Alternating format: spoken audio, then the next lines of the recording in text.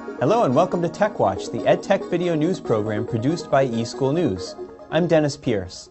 As housing officials at colleges and universities around the country sent out roommate assignments to freshmen this past summer, many said they have received more requests for changes from parents who don't like the roommates' Facebook profiles, according to a report in USA Today.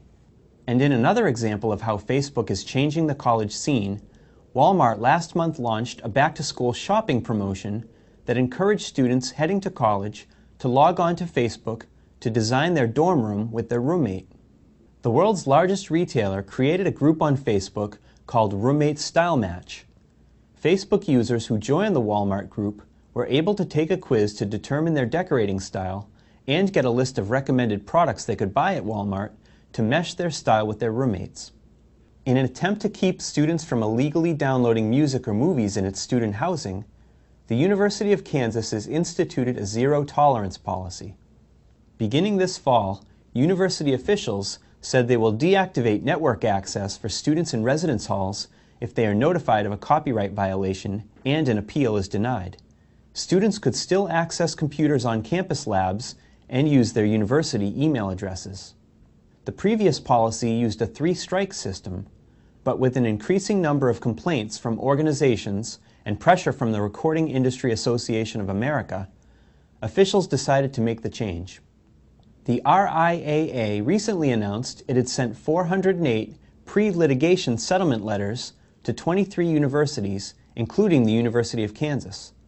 An association spokeswoman said illegal downloading is disproportionately high on college campuses.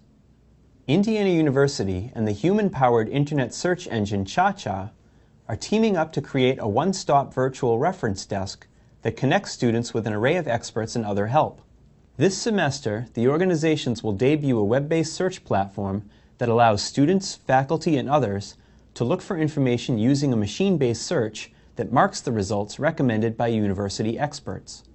Visitors who need help finding information or refining their search can chat online with an expert in real time.